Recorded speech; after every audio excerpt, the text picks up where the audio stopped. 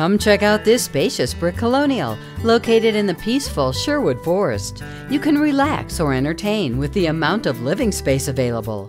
Beautiful days are great to enjoy on the deck or sunroom with nature all around. This wooded lot backs to a small stream, which makes for a tranquil environment.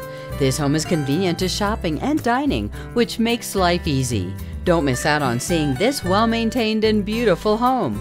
Fall in love with your future home by contacting Thaddeus Smyser to schedule a tour.